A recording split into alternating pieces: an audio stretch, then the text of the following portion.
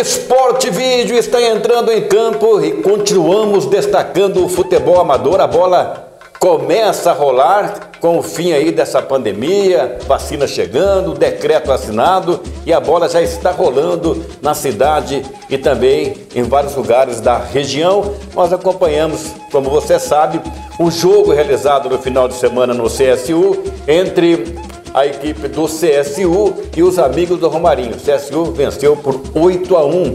E uma das personalidades desse jogo foi o árbitro, né? O Vitor Hugo Santos Mendonça, garoto novo ainda, está começando, se espelha aí em grandes árbitros do futebol brasileiro, também mundial, como por exemplo o Eber Roberto Lopes, começou aqui em Londrina, na Vila, aliás, ali na Vila Recreio, apitando futebol suíço, depois futebol de salão, e hoje está aí encerrando a sua carreira, começando aí também no VAR, deixou o seu nome no futebol brasileiro, e o Vitor Hugo é o nosso convidado, nós conversamos com ele aí, lá no Centro Social Urbano, por ocasião dessa partida. Vamos ouvir aí o Vitor Hugo. No futebol, eu acompanhei a revelação de muita gente, jogadores, dirigentes, técnicos e também árbitros. Há muito tempo atrás, eu entrevistava aqui na Vila Recreio, em Londrina, um garotinho que estava começando na arbitragem, 12, 13 anos, que acabou virando o maior árbitro da América do Sul e do futebol brasileiro, Eber Roberto Lopes. E está começando um para nova safra, quem sabe, né, Vitor? Futuramente você seja um dos melhores do Brasil. Exatamente, Cebolinha. Conforme Londrina tem um histórico bom de árbitro, como no caso do Eber Roberto Lopes, é uma inspiração para todos os árbitros da cidade de Londrina, como para mim está começando agora, desde meus é, 19 anos de idade.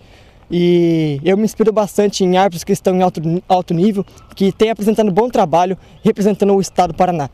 E quem sabe um dia eu chego lá com a minha dedicação, esforço e com um objetivo que é sempre almejar algo melhor. Agora, Vitor, está começando numa época difícil, né? Pandemia e tal. Graças a Deus está voltando aos poucos, com a vacina chegando. Isso é bom para vocês, né?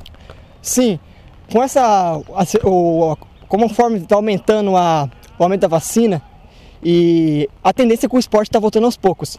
E, e, conforme os novos decretos estão saindo, para facilitar a vida de todos. É, na área do esporte, tratando tá individual e do coletivo, e principalmente no futebol, que ah, com a, o apoio assim, da prefeitura tem liberado alguns jogos, e isso, conforme vai aumentando o, o crescimento da vacina, a tendência é que volte tudo normal.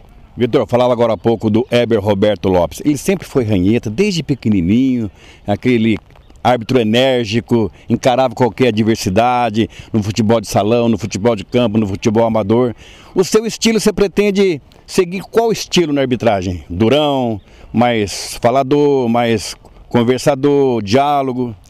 O meu caso é mais o diálogo. É procurar ao máximo ser paciente, é, escutar o atleta às vezes e quando tem que ter postura do árbitro, convicção de mostrar é, que quem manda na partida, quem que tem que, é, que a gente chamamos é, a parte externa do jogo, é, então aí que eu tenho que agir com mais pulso firme. Bom, Eber virou Eber Roberto Lopes. O Vitor é Vitor.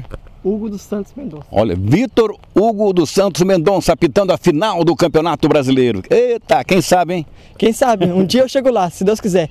Ah, é só eu continuar focado, treinando bastante a parte física, como a parte do conhecimento, do estudo, e a tendência é que as oportunidades vão surgindo. E quando a oportunidade surgir, eu creio que eu vou estar lá representando a cidade de Londrina. Boa sorte. Muito obrigado. Aí apita Vitor Hugo dos Santos Mendonça, a bola está rolando.